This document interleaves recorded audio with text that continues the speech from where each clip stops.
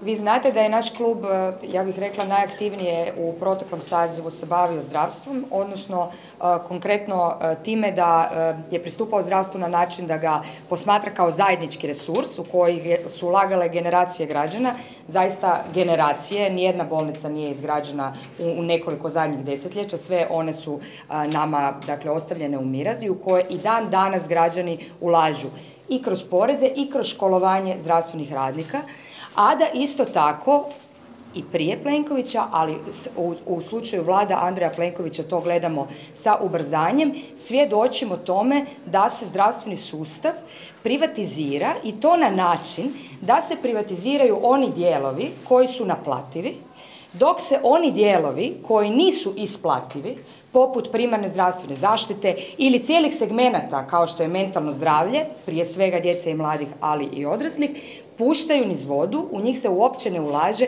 i oni propadaju. Dakle, e, sada u trećem mandatu, ako se to nastavi tim smjerom i tim tempom koji je zacrtao Andrej Plenković i koji se možda najbolje odražava u činjenici da je u sve tri njegove vlade postoji samo jedan strateški projekt u području zdravstva i taj jedini strateški projekt je privatna bolnica Medical, dakle čovjeka koji ima optužnicu i koji je iz hrvatskog javnozdravstvenog sustava izvukao više od milijardu kuna. A ako se to nastavi, ja se bojim da na sljedećim parlamentarnim izborima nećemo imati više šta spašavati. U tom smislu to će sigurno biti jedna od tema od koje nećemo, mislim oko koje ćemo biti apsolutno najglasniji moguće. Jučer ste čuli, mogli ste vidjeti u medijima, a ponovne apele, dakle udruga obiteljskih liječnika Dakle, to je činjenično sada, dakle, ne govorimo o dojmovima. 40% trenutnih liječnika obiteljske medicine u roku od pet godina ide u mirovinu. Mi sada imamo manjak liječnika obiteljske medicine i nama 50% tih mjesta pune tek završeni studenti koji nemaju edukaciju, nemaju iskustvo, nemaju znanja, već sada 50% mjesta oni pune, 40% ih odlazi u mirovinu.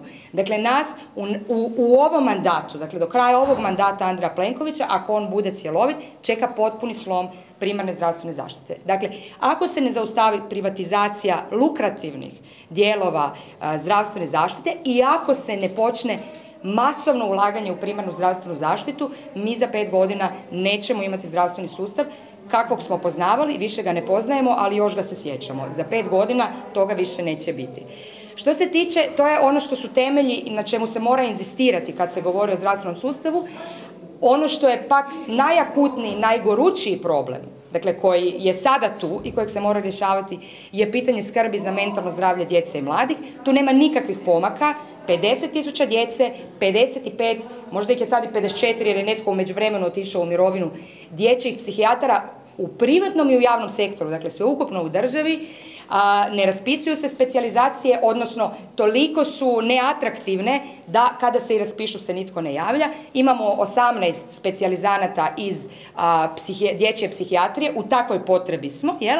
a samo za primjer imamo 60 i nešto specijalizanata iz derme. Pogodite zašto ih imamo toliko puno iz dermatologije, jer je to puno lukrativnija grana medicine, a naravno pitanje je onda gdje je tu ministarstvo i kako je to moguće. Jer ako mi školujemo liječnike, onda bi valjda država trebala određivati koliko je kojih specijalizacija treba. Također ćemo se baviti, to će biti tema, ja sam sigurna vrlo brzo, zakonom, e, oni, dakle idu nove izmjene zakona o igrama na sreću. Ono što smo vidjeli e, nakon javnog savjetovanja, odnosno ono što smo vidjeli da vlada sve skupa nije prihvatila, potpuno je jasno da unatoč određenim izmjenama koje su pozitivne, jer ovo je bio divlji zapad, mislim, nije, ako su ih, nije, nije moglo, kako da kažem, biti gore nego što je trenutno u Hrvatskoj sa regulacijom igara na sreću, iako ima određenih pomaka, jasno se vidi da se radi o izmjenama koje idu um, na ruku određenoj grupi priređivača.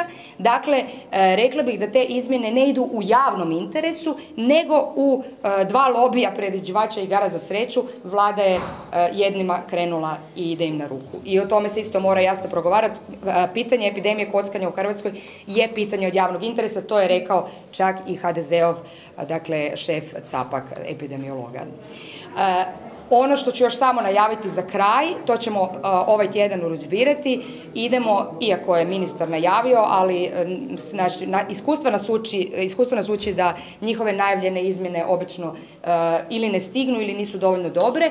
Dakle, idemo sa prijedlogom izmjena Zakona o zdravstvenoj zaštiti i Zakona o liječništvu, kako nam se sramotan slučaj osuđenog ginekologa iz Osijeka ne bi mogao ponoviti.